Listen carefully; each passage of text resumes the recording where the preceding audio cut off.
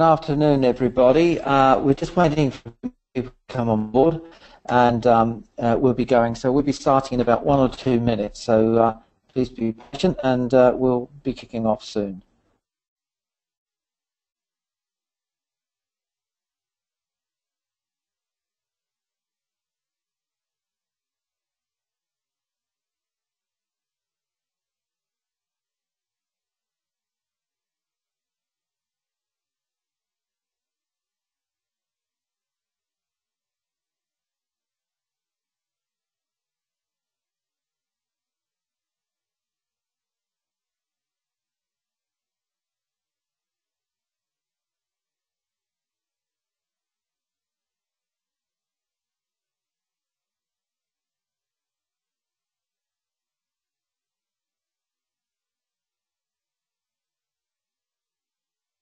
Good afternoon, everybody, and uh, welcome to the Solid Edge Advanced Modelling webinar. Uh, the webinar will go for approximately one hour, and uh, at the end of it, uh, we will be taking uh, Q&A um, via the um, uh, via the box at the, the bottom of the page um, on the side. You can see this little messenger box. If you can just send any questions at any time through to that, but we will answer them at the end of the webinar.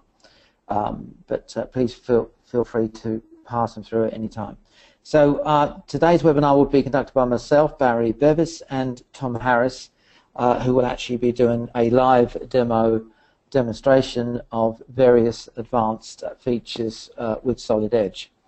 Um, this screen gives you some idea of uh, some of the technology within inside of Solid Edge and what we're going to go through this afternoon. So Solid Edge obviously has um, a very unique environment called synchronous technology uh, we will see some of that this afternoon. We have the traditional ordered modelling, which you may have seen in other CAD systems. So that's the traditional way of modelling with history trees, etc.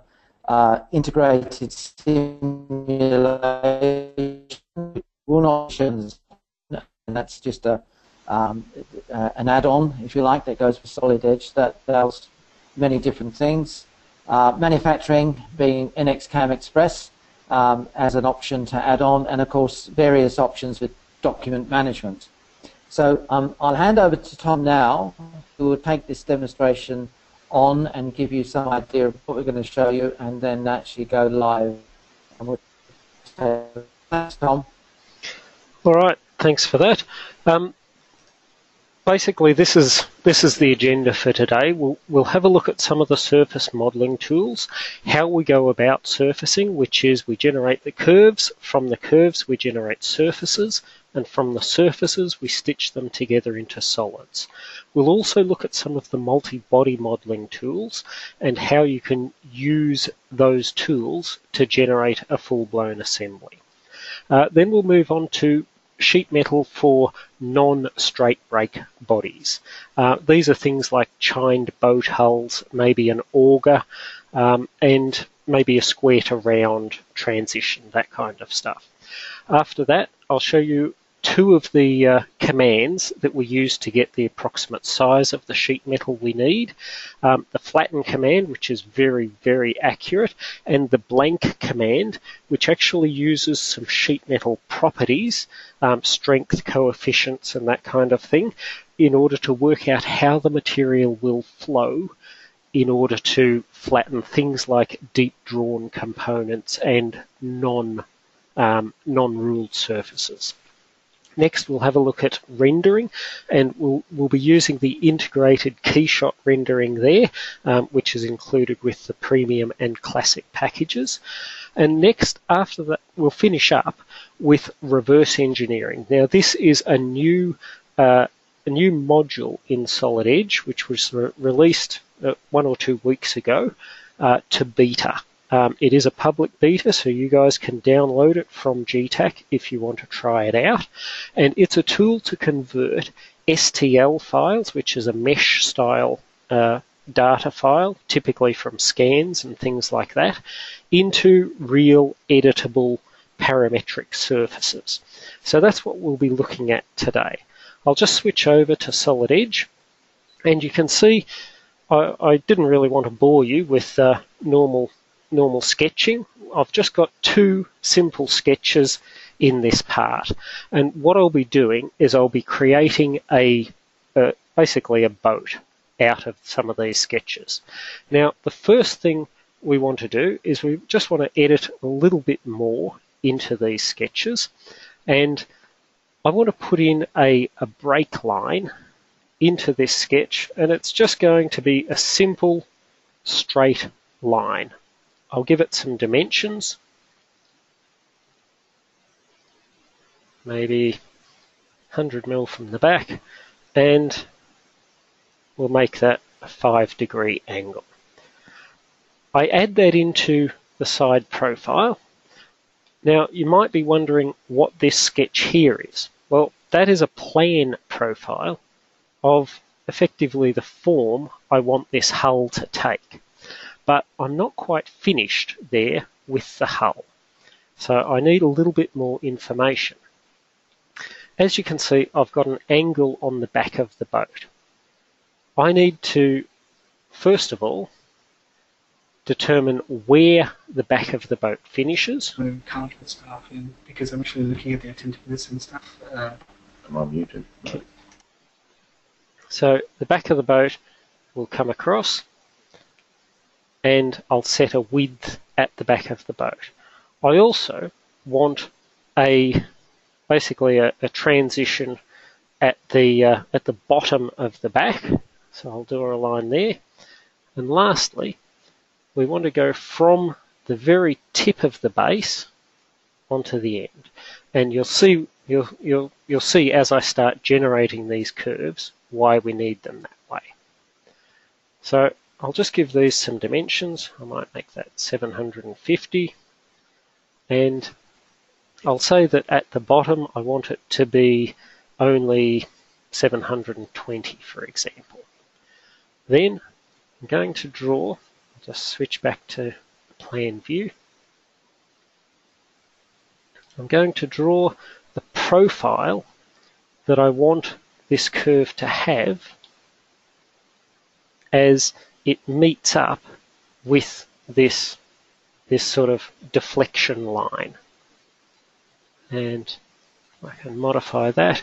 If I want a little bit more control, more than I've currently got, I can of course change a B-spline degree. And as you can see, that adds more points onto my B-spline, more envelope points, and it gives me just a little bit more accuracy with defining that shape. Lastly, because this curve here is supposed to represent the very top of the hull, I should connect the end of that, whoops, not in connect, I'm in line, connect the end of that onto the line which joins up to the top. So that's all we need to do in terms of sketching for now. Next, I come into the surfacing commands, and we have a really powerful tool. We have quite a lot of powerful sketching tools, but one of them is a cross curve. And this allows me to take a curve like the top of the boat sketched from one from you know a side view and combine that with a curve sketched on the elevation into a nice clean three-dimensional sketch just like that so it's a really useful tool for complex design I'll also do the same thing for what I want to be basically a deflector line along the side of the hull. Lastly, I want to create an edge along here. I'll come back to that and do that a little bit later though. Next, we've now got those two curves. What are we actually going to do with them? Well, I want the line along here to be a very, very clean, um, simple line. So all I'm going to do is I'm going to do a swept surface. Now, if I want to sweep multiple curves along this edge, then I use multiple paths and cross sections. Um, single path and cross section is one path, one cross section. if there's any doubt which you need, always choose multiple because you have the option of only actually using one. Oops, I don't want that to be a chain. Just want that to go to that single line. I want it to move along that path. Oops, I think I messed that up. Let me go back and do that again. Go from there to there. Next along this path. And you see how it generates a very clean line. This is actually a ruled surface because you can see you can put a ruler between the top and bottom all the way around the surface. Okay, so that's our first our first profile, if you like. However, you can see also that it's extended past. That's because the line I used was the front line, and so now I need to basically trim that surface off at the dividing line. Not a problem. I can simply select the curve to trim the surface. Alright, so that's, that's that part. Next what I want to do is I want to create a, a deflection board so that as the water comes up to this deflection board, it'll actually be kicked off at an angle. Now, I don't know if any of you have used the ruled surface command. It's quite a powerful one and it lets you, I, I can create a ruled surface that is tangential to the surface I pick. I can make it normal. I can make it tapered to a plane, natural, or the one I want to use is angled according to an axis. Now, I'm going to use the back edge as my axis, and I'm going to use this edge here as the line I'm going to taper along. And you can see that in this case it's making an 80 mil line that or an 80 mil surface that runs at an angle of 110 degrees to the line I picked. Now I might not want 110, I might for example only want 70. I might make that a little bit more 80. Now you can see that it's quite a clean line and it runs at an angle of 80 degrees to this all the way along. You've got, you know, other options there. You might want to sketch another line and control that separately. For what I want to do, that 80 mil is quite acceptable. So next, what I want to do is I want to um, I want to do a back plane for this boat on the back board. How will I do that? Well, I'll use by a plane by three points, and I want the first point to be the bottom origin here. I want the second point to be the end of that line, and the third point to be this line up here. You see I've now got that plane and I can jump onto that plane and happily sketch the bottom edge. Now notice that the plane projects through the, oh sorry, the surface projects through the plane I'm sketching on. I want to sketch from this thing called a pierce point, which is where that curve pierces the line. It's quite a useful, very powerful tool. So that creates that bottom edge that I need. Um, that's pretty much all I need on that plane. So I can close that. I probably could have used a, a 3D sketch command as well, but I didn't. Um, let me just hide that other sketch so it doesn't look too confusing. Next, I have to create um, because I'm because the surface that I'm going to fill the bottom with has to end up on here. It also has to come in here, so I can't actually use that first profile. So what I'll do is I'll do another sketch on the mid plane, and this one is going to come from again this point here down. I'll keep that at an angle and connect it onto the bottom line. Then I'll just finish that off back to the end. I need to make it tangent because I didn't do that. And I can specify the curvature on the bottom there. Lastly, I haven't specified this angle, but I actually want it to maintain the same angle. So I'll simply put a parallel in there.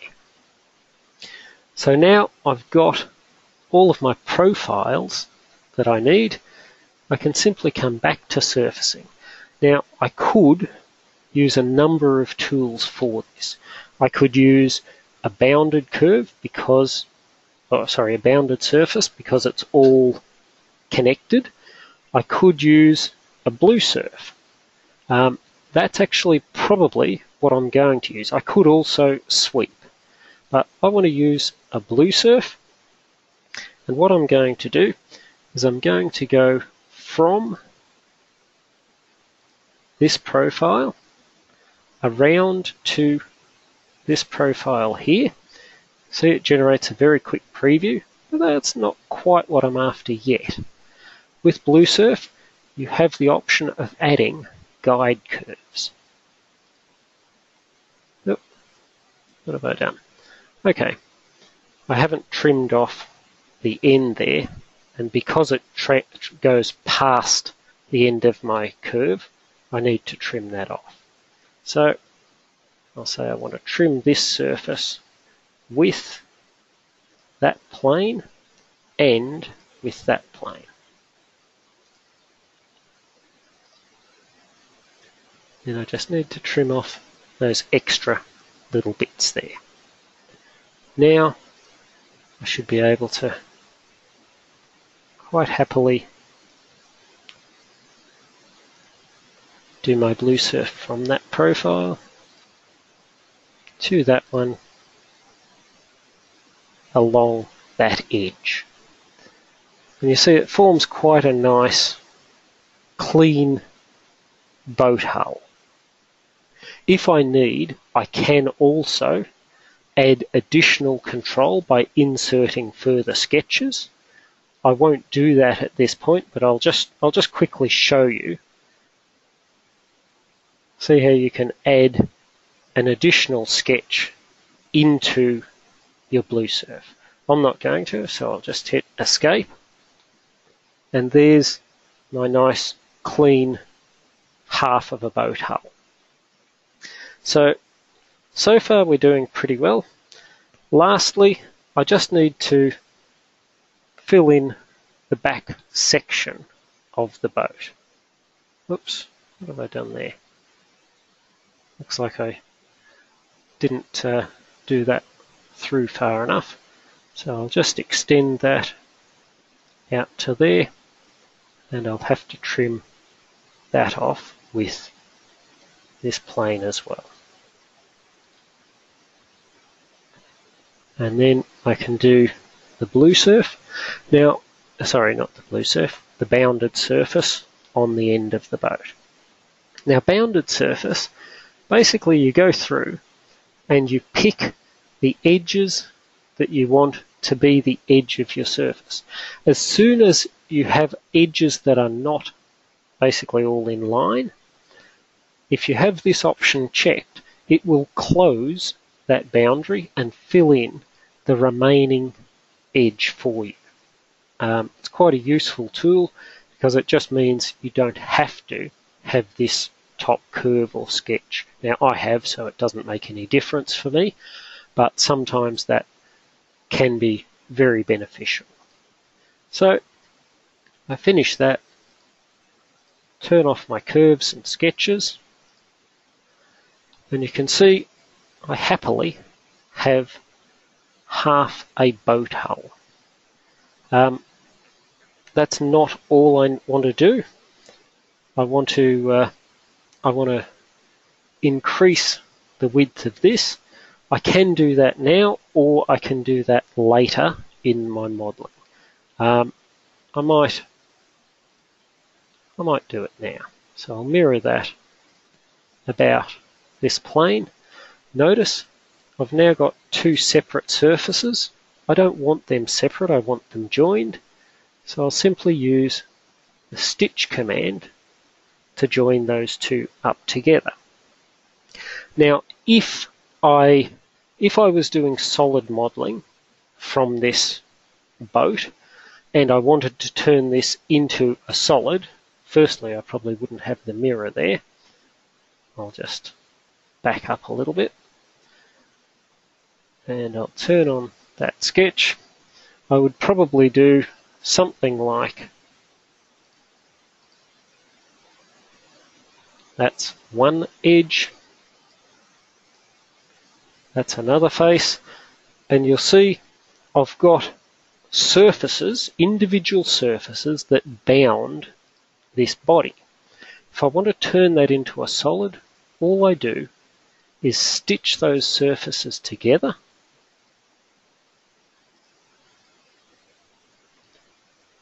and you see it creates a solid automatically. Now I don't actually want to do that so I'll just undo that command and go back to where I was. Get rid of those two.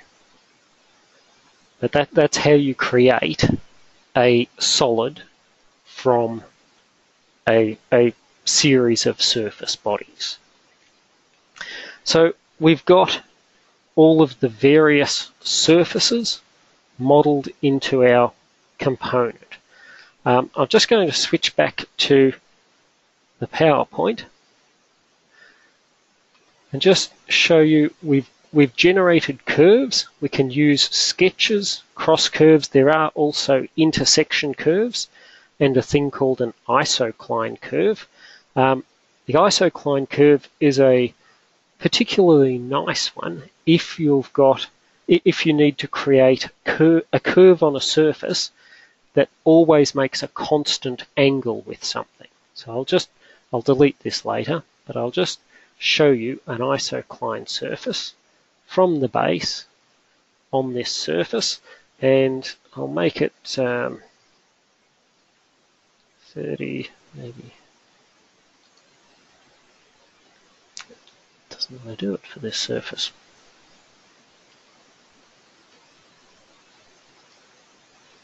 I might have messed up the bottom a little bit typically what you'll find is whatever makes a 40 degree angle with the surface, you'll see a line running all the way around. Um, doesn't seem to be working at the moment. If you've got any questions on that one after the webinar, please let me know because it is quite a powerful command. I won't waste your time trying to work out what's happening there though. Um, so that's the isocline curve. Then we've generated swept surfaces from those curves, ruled surfaces, blue surf, and boundary surfaces. We have another command which you'll see a little bit later when we get to the reverse engineering as well, that's intersect, and that's a very, very useful command. How to generate solids from surfaces? Well, you stitch them together, and if you want to do sort of hybrid solid surface modeling, you can also replace surface um, solid surfaces with a surfacing surface. So that's that's quite a powerful command there as well. Oops, sorry about that. Um, so next, what we're going to be looking at is a little bit of multi-body modeling. Now, multi-body modeling is particularly suited to something like this where you've got all of the geometry in one body. So I come in here and I've got various commands. I can add bodies. At the moment, I haven't got any solid bodies here. So I'm just going to come in and say I want to thicken this part and I can choose which direction I thicken. Outside, both sides or inside. I'll choose 5 mil inside and it creates a solid body that's thickened. You can see there I've now got a design body. I could go and thicken these other parts and all of it would become one solid. I don't want to do that. What I want to do is I want to add another body. I'll call the first body the sideboard. The second body I want to be the um, the deflector. Okay, so I'm now working on a deflector. I just want to thicken this body. Again, I'll do 5 millimeters up. Notice, as I start editing, the first body becomes translucent. I can see through it. That's to show me that's not the body I'm currently working on. And lastly, I want to do the hull. So I add another body called the hull and again I thicken the hull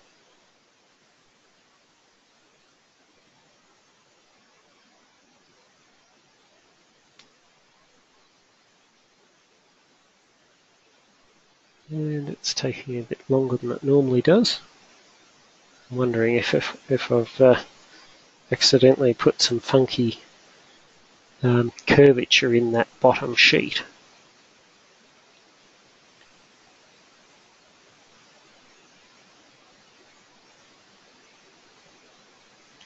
It is possible.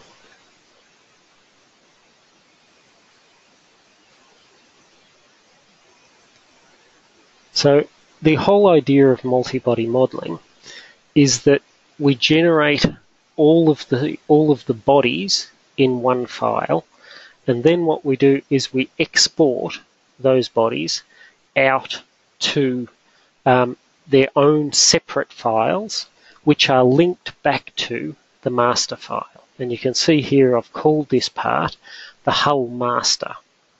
And the reason for that is because it is it is the master file that will drive all of the other sheet metal components in here. Um, this is taking a bit longer than I was expecting. What I might just do, because I don't want to keep you waiting, so I might just kill that and open up one that I actually finished before. Uh,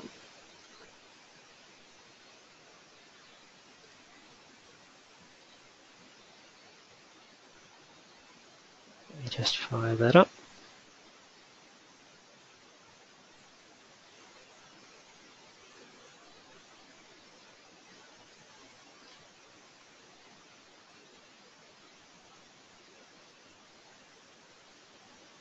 Just opening up this one and you can see that I've actually thickened the back plate as well. So I was I was two steps away from here. I've got a series of design bodies, a backboard, a sideboard, a deflector, and the hull. Now, what I want to do here is I, after I've created these multiple bodies, I actually want to turn each of those bodies into their own file and work on them. So the way we do that is we come into multi-body publish. It's quite a, whoop, something's going on with my machine. It's not liking me.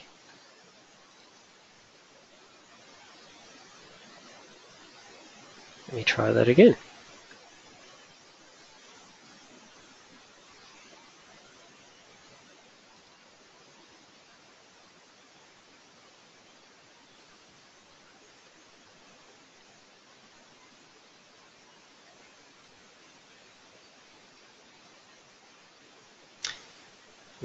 It's having a hernia.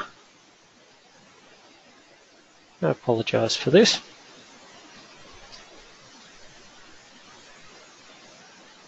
Um, while Tom's uh, just doing that, maybe uh, we could, uh, you could send some messages through, uh, and um, we could uh, maybe answer your questions just while he's rebooting. It'll, it'll only take a few uh, few seconds.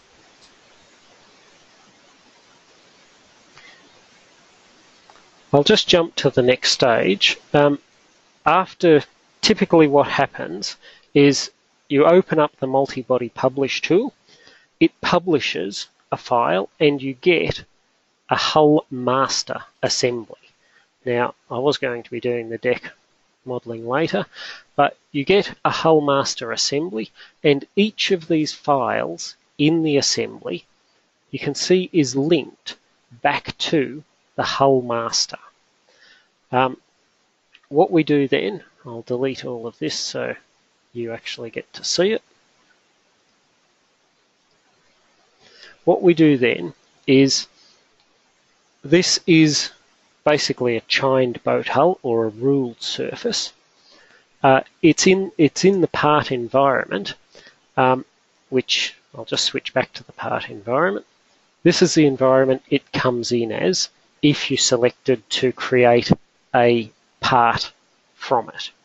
Um, you can come to tools and you can switch to the sheet metal environment, even if the part was modeled as a part. So I switch to the sheet metal environment and then I have this option here called thin part to sheet metal. And what it will do is it will have a look at the component and transform this component into a valid sheet metal body. Um, you might say, well, it's not a valid sheet metal body because it's, you know, twisted and curved. Well, it is actually a valid sheet metal body. It's just not what's called a straight break body. This needs to typically be rolled or something like that. But you can generate a flat pattern from this part with no stretching or deformation of the sheet metal. Now, in Solid Edge, ordered modeling is slightly more powerful than synchronous modeling, especially in the area of non-straight break bodies. So I want to flatten this body and this will be my bottom surface. And you can see there it's generated the flat component quite simply and quite easily. Alright, so that's the sideboard. We can do the same for the deflector because it is also a ruled surface. We actually created that one as a ruled surface. The first one was a sweep. And of course the backboard is straight planar. We've got no question about whether that's sheet metal. It's not a problem. However, the hull. This is certainly not typical sheet metal. Now let me just delete these steps so I can go back and show you. What we've got here is a body that is curved in two directions at the same time. Okay, what what you can do in Solid Edge with this kind of surface, because this is the same as it's it undergoes stretching or compression as you form the shape. So it is a forming operation. It does need special tooling and what the way you work out the blank size of this is you come in to the flatten environment. You don't have to convert this to sheet metal. Any part that is sort of roughly thin walled um, will, or not any part, but most parts that are thin walled can be what's called blanked. And you go into the flatten environment, you can see I've got two commands, flatten and blank. Now in the blank command, these are the keys that you've got to get according to your material properties. It's the strain hardening exponent and the strength coefficient. So once you enter them, you can select the surface and you can position this cursor depending on which direction you actually want to pull the model. Now we've got a 5 mil thick and I want to offset the surface to be flattened by two and a half so it is basically represents the mid surface of this part. I hit preview and it goes you can see there on the on the screen the blanked surface. However, notice surface area of selected faces was 231 or 2,310,000 millimeters squared. The computed blank has a slightly different area. The reason for that is because we've told it to do a very coarse accuracy. The finer you go, the longer it takes to compute, but the closer the surface area will be. See now we're 23 and 22.8. That's pretty close. You can of course go finer and finer to get the blank more accurate. When you're happy with that, you hit finish and you've now got a blank of the formed component. And this is the approximate blank that you should get. Obviously, you know, tooling and how many press operations you've got will affect the, the blank shape. But this is a way of flattening those very, very complex surfaces. So after that, we can simply do a mirror and I'll just show you the mirror command. You select the bodies you want to mirror. Obviously, I don't have to select the back. Select the parts I want to mirror. I say mirror. It, and then I need to confirm that and select the mirror plane. It gives me a dialog which says, okay, yes, I'm going to mirror these components. Solid Edge is quite unique in that if a component is symmetrical, instead of it saying mirror, it will actually allow me to rotate the previous component and use it again. And it gives me the, or it suggests the file names. I can change these if I want. I won't at this point and hit finish. It goes away and generates those files and places them in position in the assembly.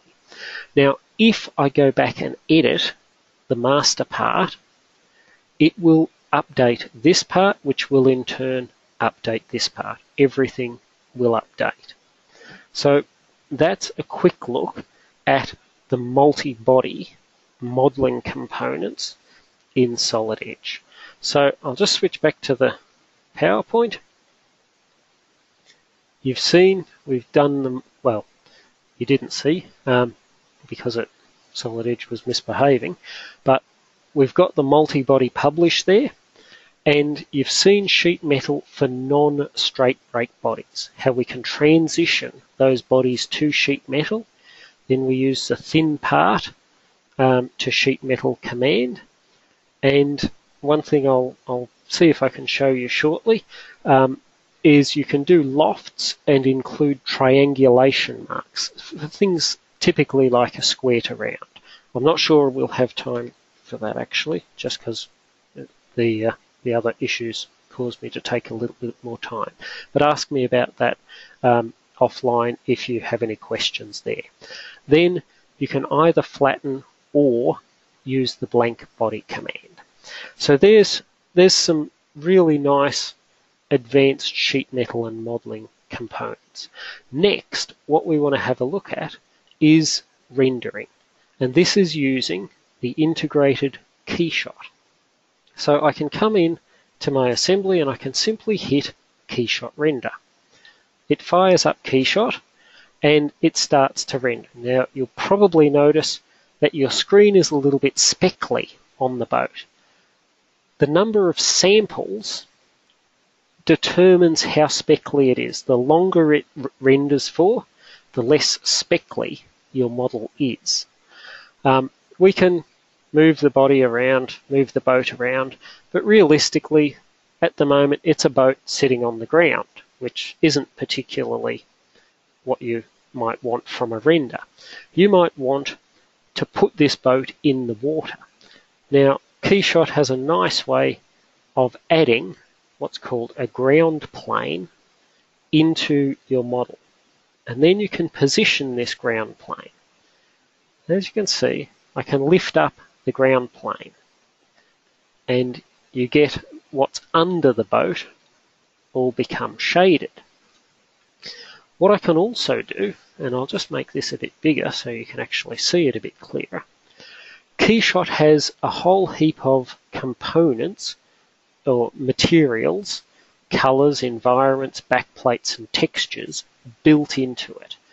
If you want something further than that, it doesn't have water built into it.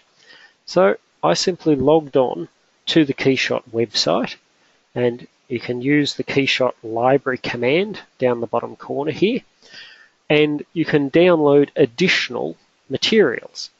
I grabbed water and I simply place drop that onto the ground plane and now you can see it's rendering water. But to be honest, that water is looking pretty still. I might want it to be a little bit more exciting. So I just come and say I want to change my ground material, double click on the water. I want to go into the textures and actually edit the texture a little bit. Maybe I want to decrease the scale a little bit.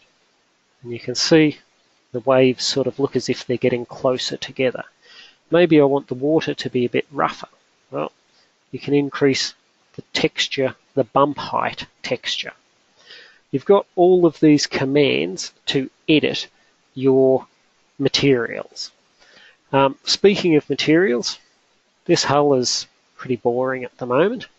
So I want to come into the boat and I want to grab all of these components and I want to link their materials because I, I don't want to have to apply a material to each and every one.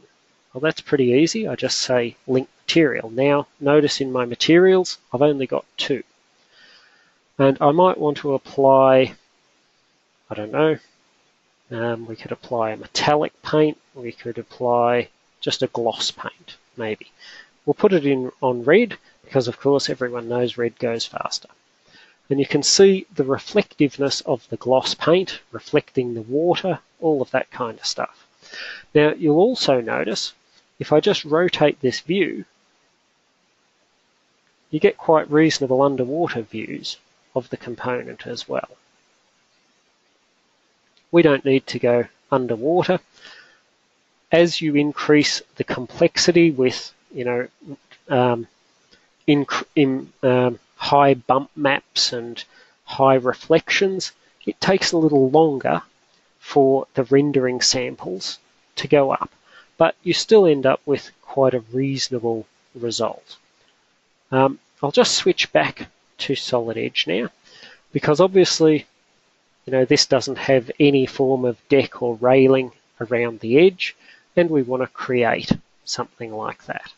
So I simply come in and say, create a part in place. Yep, put it in there. And I'll select mahogany or something like that from the library. And I'll call this um, the railing. Okay, so it's created my part. I've got everything else hidden, so turn that back on just with a hotkey.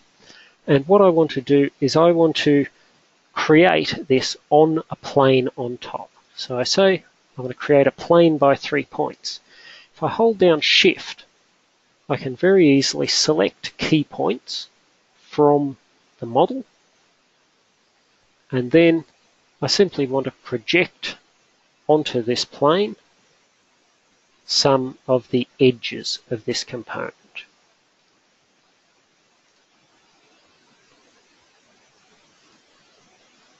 Okay, then I'll just trim these edges into corners. Oh, looks like they're already, oh, I got one inside, one outside edge. So let me just delete that and get the outside edge instead. I better zoom in a little bit more to do that. Okay. And you can see it's connected up the top. I also want to have an offset. Maybe I want this railing to be 80 mil long and I'll just grab the whole chain, offset that 80 mil in, grab the region and we'll say it's 20 mil thick. Go back to my assembly and it's looking a little bit better. However, I'd already done some customization in Keyshot, i.e. adding the ground plane, adding the water, all of that kind of stuff. What happens and how do I push this through? Well, I simply go Keyshot Update and that switches back to Keyshot and updates my component with, or updates my model with the new deck or the railing. But again, it's a pretty boring railing. I need to add something a little bit nicer to it. So I go into my wood. I've got all sorts of different woods as you can see. I've got old wood planks. Now maybe I want it to look like an old wood plank. Make sure you drop it onto the right component and you can see it's adding old wood planks, but they're running across the boat. I don't want that. I want these planks to run down the boat. So I right click and I say edit material for the railing.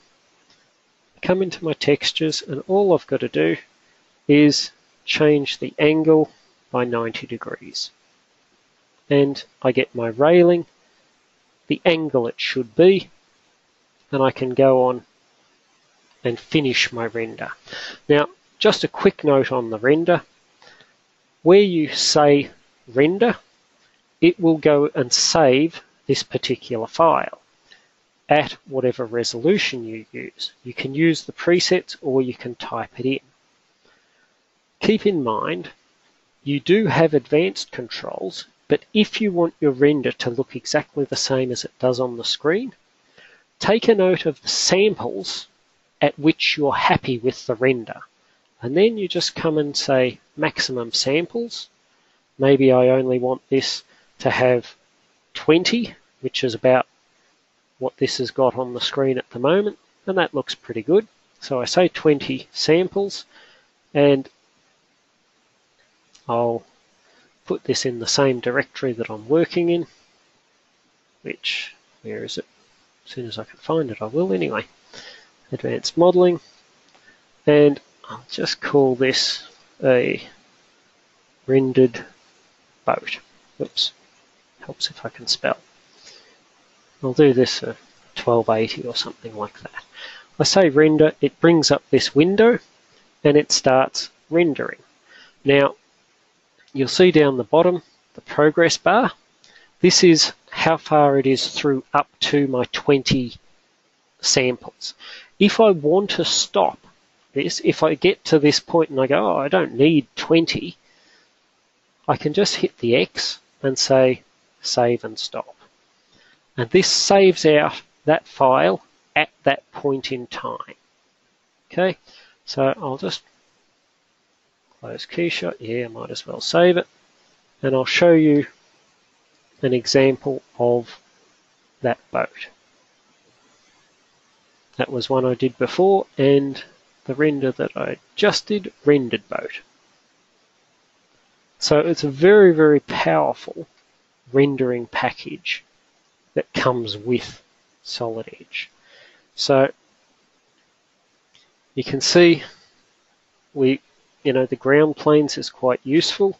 You can link materials. You can even override materials, like I changed the water and you can download your library entities. Now something else that is very useful, which I won't have time to show you today, is also matching perspective. And this is if you're putting your models into a particular scene. Now I'll just switch over to um, importing standard sheet metal uh, bodies. And this is traditional style sheet metal. Close that. Yep. Let's just say you've been given a, a body from a supplier and all they can supply it to you in is your good old step format. Okay, I've got a sheet metal part here supplied in step format. I want to bring it into my sheet metal environment and then I want to do a little bit of work on it. Now you can see it's got all sorts of stuff on it. It's got a return flange, it's got a few louvers, and it's got some a pattern of holes by the look of it. What can we do with this? Well, Solid Edge has a very nice command where it can recognize holes. Now, they're the holes it's recognized, but it doesn't, and they're 6.35. I might want that to be an 8 millimeter hole. I can simply change it just by selecting the hole saying 8. Now they're 8 millimeter holes. But as you can tell, and you can see it's now converted them into holes, but as you can tell, they're a pattern. How can we work with that? Well, we can recognize hole patterns. It asks me to select the holes, and I say OK. Now, I can, you'll notice it's got a pattern of patterns. I can recognize an entire pattern of hole patterns if I want, or I can just keep it as individual patterns. Okay, I'll keep it as individual patterns for now. You can see it's generated my first set of holes and then its patterns of those. The first set is one of each of those patterns. However, I don't want these mid holes. I could change each of these patterns separately or in synchronous I can just select the holes and delete them. Okay, well, that's useful. But what if I want a different spacing on these holes? Okay, if I have a look at the pattern, it's a 3 by 2 which I've deleted some of. It's 50 by 100. I can change each of these patterns individually or, whoops, I've got a little bit more than I bargained for there. I can select the holes and I can simply move them. Now notice solid edge synchronous is maintaining this change on the other side of the model as well. I just want to move that whole set by 10 mil. Type it in and I'm done. I may also want to remove the louvers on one side of the part. Simply select, hit delete, and they're gone. And you might say, well, yeah, that's all good, but this is, you know, we've got to be able to flatten this part, and it's an imported part. How do we do that? Well, I can come in to the tools. I'm already, I think I'm in the, yep, I'm already in the part environment. I want to switch to, I, I want to convert this into a sheet metal part. Synchronous has a thin part to sheet metal. However, this gets back to what I was saying before. The ordered style is slightly more powerful because the synchronous will not convert the deformation features into an, a, a flattenable body. So we simply transition to ordered and then I'm going to use the thin part to sheet metal it shows you the features which will be deformation features and allows you to finish that and then flatten it as a normal sheet metal body. Obviously, they're deformation features, they're still deformed in the flat pattern. So that's just a quick look at some of the tools in Solid Edge. If I want to go, go back and change any of this, I can simply switch back to synchronous and maybe I want to, um, I'll just zoom in a little bit there. Maybe I want to grab these and move them so that the distance between is 150. Now I don't actually know what the distance is at the moment, but using my steering wheel, whoops, I'm supposed to hold down shift, I can offset my steering wheel to 150 mil and then I'm just going to move that. Notice the symmetry is, takes care of the other side. So I know that is 150 and that is 150. The overall spacing is my desired 300 millimeters. And I've got a completely flattenable part. However, I might need to do some slightly more complex features. Um, in Solid Edge, you have quite a number of tools. Um, I have my various contour flanges. I also have things called beads, but I can use beads for strengthening, for example, bends or reinforcing, make them a little bit stronger. So I'm going to, I've just unbent that, that flange. I'm going to put a bead across this bend. And what that does, notice if I try and go down, it says it will intersect because the, the thickness of the bead is smaller than the bend radius.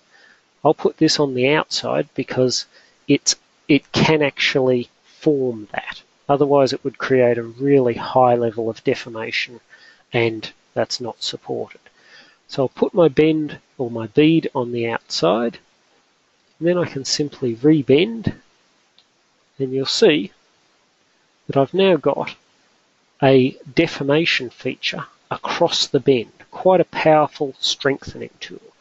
But maybe you say, well, I don't actually want that. I want a gusset instead or something like that. Well, you can grab gussets. Notice I can specify all of the properties and when I've got one I want, I can save that and then it becomes available just to select. I'm going to place a gusset on this bend. I want to put it on the midpoint. Got to find the midpoint, change my view, and give me a bit more of an idea. There it is. So there is my gusset, another deformation feature on my bend. However, these gussets are not added to the component in the flat pattern. So what happens to the flat pattern? Well, we'll have a look. The gusset is missing because the gusset is added by forming tools after the component is bent. The bead, on the other hand, is added in the flat pattern as is the louvers. So that's just a quick look at some of the sheet metal tools that are in there. Now, we've got three types of sheet metal tools. We've got, well, four types, but three types of sheet metal. Um, we've got the transition to sheet metal, which allows you to bring an imported body or something that wasn't modeled as sheet metal. We've got straight break sheet metal tools. You've got these in both the sheet metal environment in ordered and in synchronous. Then you've got kind of transition features. And these are things like deep drawing, ruled surfaces, or hems on curves and lofts. These are features which aren't straight break sheet metal, but you can still apply them in the sheet metal environment. These are typically done in the sheet metal environment of ordered modeling. Lastly, you've got formed components. Typically, you model these in the ordered environment with the exception of deep drawing. And you model them in the part environment and you use something like a blank tool to end up with your final component. Next, what we want to have a look at, I'm going to skip the square to round just because of the time we, might be a little bit over. Um, I'll show you the new reverse engineering tools in Solid Edge. Now, all we need to do to start up these new tools is we need to create a new part. Okay, go in, create a new part. You'll notice if you install it that you get a reverse engineering beta um, tab. So I want to import an STL file. Okay, at the moment it's only STL. Later it will be it will be improved to have other formats as well. And you'll see the familiar faceted model imported in here. However, I don't know if you can pick it there. This model is not perfect. It has holes in the mesh. So how do we deal with that? The reason this one has holes is because I wanted to show you it, it's a real world scenario and I wanted to show you the tools that Solid Edge has. The first tool is actually called Delete Mesh. Now this is if you've got a scan that includes a lot of other data that's not relevant to you. We can delete that mesh and continue on. The next step is to fill holes. Soon as you click fill holes, it analyzes the mesh for any holes in the mesh. Now, as you can see, there's quite a few holes in the mesh, which it's shown me. I can have a look at the individual holes. I can zoom to the particular holes. Zoom to, that's that one on the bottom. See it highlights. If I don't want a hole filled, for example, I might have a scan of a component where I don't see the bottom, then I can simply delete the hole from the fill holes command. I also have two options. I can fill maintaining curvature or I can fill flat. I want to fill maintaining curvature. I simply hit OK and it's done. Notice the holes are not there anymore. The next step is quite a useful one. And this will sense what type of surface fits these components. Now, if I just hit F1, it brings up the help, and you can see that yellow represents a planar surface, cyan represents cylindrical, red represents spherical, and magenta represents a B-spline surface. I also have the option of making some, some areas of the model non-extractable. I won't create a surface from it. I'm, I'm pretty happy with that. If I increase the accuracy, then I end up with things, depending on my mesh quality, where it says, okay, this one represents a planar surface. Now, in reality, it doesn't, but if I increase my accuracy so much, it will have a look at those two mesh facets and say I can fit a planar surface onto that. So I just want to bring that back down and leave it as those colors for now. That's the automatic detection. However, I happen to know, and this is one limitation of the beta um, release, it doesn't it doesn't um, recognize transition tangential transitions because I happen to know that the bottom half of this is spherical. So what I'm going to do is I'm going to go in and I'm going to manually paint this red because I know that it's a spherical body. You can see I just go across paint all of the component. Now if I want to have more accuracy I simply zoom in and you can see the paint region is much, much smaller when I'm zoomed in. As I zoom out, my paint region gets larger and I can accidentally hit the wrong areas of my model. That's okay. I'm just going to paint all of this surface then I'll come back and fix up the areas that I messed up.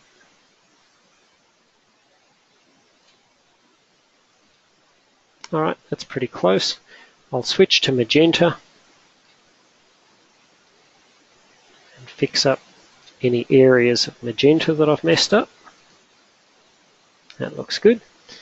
And then I'll simply switch to cyan and notice it kind of it whoops it gets the it, it honors effectively um, oh, what's it called? The angle between the mesh components. So it is quite easy to generate those very accurately and quickly.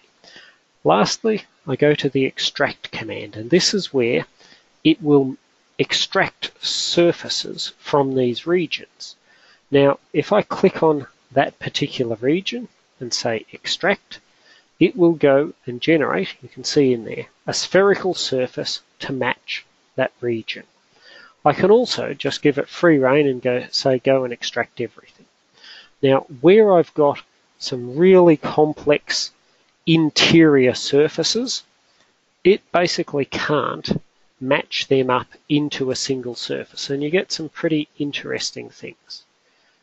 This B-spline's fine. That B-spline is not really what I want. So I simply say delete. That one's fine. That one's fine. I've got my cylindrical. I've got my planar. Another planar on top and the spherical. These surfaces are all okay. And you might be thinking, yeah, but they don't really represent my model very well? Well, we can get there. And this is where we switch back to our surfacing tools. And in this case, I'm going to use the intersect command. I'll select all of my surfaces and I start removing, just with a simple click, the areas. Oops, why isn't that matching?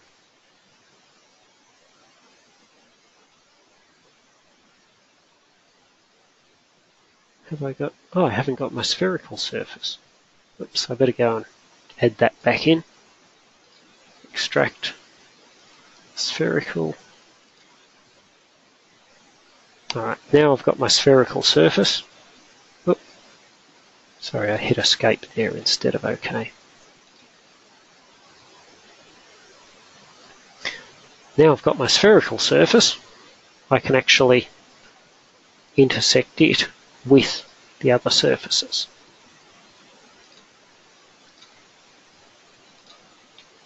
See, I'm just getting rid of the regions of surface that I don't need. Now you'll notice in here, I've got a little one on top a little one on the bottom that I don't need. In here, I've got the extension of that cylinder. And in here, I've got the middle of that. Same on the top of the cylinder. Let me get rid of that and that. And I think I want to get rid of the top of the sphere. Okay, so I say OK and I'll intersect or stitch all of these together. Notice now I've actually got a solid body which I'll toggle into design. However, I don't want to see the mesh anymore. I've got all that I need to do out of the mesh. So I simply come in, delete all of the mesh. That's fine. But what's happened here? Well, it's trying to fit a B-spline surface around a mesh, and you're never going to get a perfectly accurate B-spline on a mesh. We know it's a revolved surface, even though you can barely see the gradations on it, it is actually not quite right, and you can tell by the wavy line. So how do we fix that up? Well, we can simply use our sketching tools to go from, oops, better select my plane. I'm going to come from here down and I'll intersect tangentially onto the sphere. Now I've got to make that fit. So I'll just bring that down. Adjust my spline so that my curve sits where I need it to do.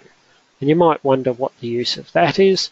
Well, then I can simply create a revolved surface from that around the center of the cylinder by 360 degrees. And I've got my surface. But I haven't removed the other surface. Well that's okay. I can simply do a replace face which will replace this solid surface with this modeled surface. And then all I need to do is come in create a thin wall, except I don't want to thin wall the bottom part. I want that to be solid. And I have my port glass back in editable real geometry. For example, I might not want that stem to be 11.77. I only want that to be 10. And instead of that being um, 89.87 millimeters, I'll make that a clean 100 millimeters. And of course, I could go in and go nuts with my rendering. Um, just so you see, because we're running short of time, I actually did a port glass rendering on a bench top. So that gives you a little bit of an idea of the reverse engineering package in Solid Edge, which cleans up your STL files, removes the holes, you can isolate your area of interest, you can identify what surface type to fit to the different parts of the mesh, and then you convert that mesh into surfaces and trim and stitch the surfaces back into your solids, or you can leave them as surfaces as desired. So that's all we've got for today. Um, if you've got any questions, and I can see a couple on the pane, we'll uh, we'll start answering them now. Um, if we don't get to your question, or later on, maybe you're watching this on YouTube because we're recording it, um, so you can't obviously answer ask a question then. Please shoot the questions through. You can call us on 1300 883 653 or you can email us on at info at edgeplm.com.au and we will be posting this on YouTube. So we'll switch over and start asking any questions that you may have asked in either the question pane or the chat window. Um, we've got one question here. Uh, interesting boat hull example. I would like to see surface curvature analysis on the bottom face um, to see how the curvature is has resulted. Um, it looks like Mark has actually left at the moment, so I'll have to answer his question. I'll have to answer him later, but for the rest of you, we certainly do have uh, curvature analysis tools. Um, I don't have the boat hull open at the moment, but we can do curvature shading on this and we'll find those settings in the model. We can also change, that's a very high level of curvature there, but you can see I can set the high level, the low level, and you can particularly see down the bottom the curvature changes depending on where in the model you are. From black to no, well, black is no curvature, You've got very high level of curvature around here. You've got slightly higher curvature in the top and that kind of stuff. So we can certainly do curvature analysis. Um, a developed surface, yes, Steve, um, it is a developed surface that we were working on with the boat hull. Um, how would we have different colour on the outside to the inside? Uh, I'm assuming you're talking about the um, the glass, but you may have been talking about the boat hull. I'll try and answer both of them. With the boat hull, if you want a different colour in Keyshot on the inside to the outside, then all you do is you use a, the part painter in the part mode to apply a different colour in Solid Edge. Then when you go to Keyshot, you can override or reapply different colors to both the inside and outside. But you do need to basically give give Keyshot different colors to start with, and that will allow you to um, to you know override different colors in Keyshot. You just have to split the colors in Solid Edge first. Um, someone said they lose changes, materials, and colors that were done in Keyshot. That sounds like a support issue. Um, please give us a call if you have any problems. This, like I've demonstrated, is how it's supposed to work. It may be that you haven't saved the Keyshot file or you know you're starting the Keyshot file from scratch. Uh, we can certainly have a look at that. Um, Barry, do you see any other questions at the moment? Um, I've got I've got one that's talking about the um, uh, Keyshot and how is it available? Does it come as an add-on module or not? Um, the answer to that is uh, yes, no. Um, it does not come as a, an add-on module uh, to the integrated version of uh, Solid Edge. It comes standard on Solid Edge Classic and Solid Edge Premium, um, but it does not come with Solid Edge Foundation or Solid Edge Design and Drafting. However, if you want it um, uh, with with Foundation, you can buy uh, a standalone version of Keyshot, which is relatively expensive compared to the one that comes with Solid Edge uh, Classic.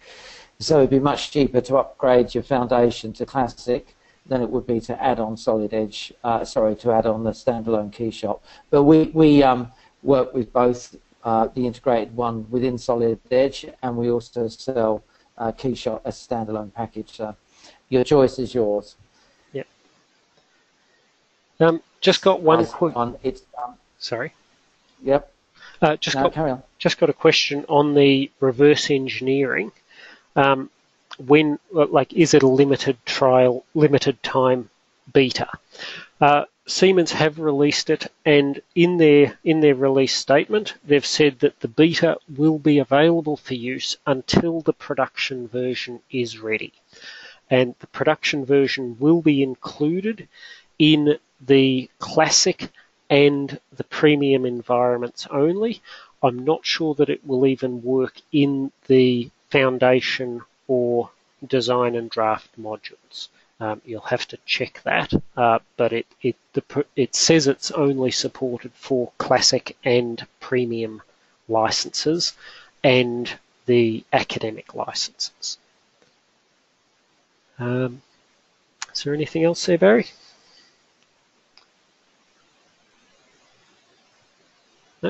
Sounds. Oh, well. sorry. there are a few, but we are running quite late now, so I think probably uh, we'll, um, we'll, we'll say good night or good evening. Um, and uh, thank you again, Tom. That was a great demo. Um, and uh, live is always fraught with danger, but you did very well to get through that. Well done, and well done, Solid Edge, and well done to the uh, the new beta version of the reverse engineering. That's fantastic. So any of you that have got uh, premium or classic, um, have a go at downloading it and start playing with it because it's only beta, but even still, it seems to be working pretty soundly. So, um, thank you again for attending, everybody, and thank you again, Tom, and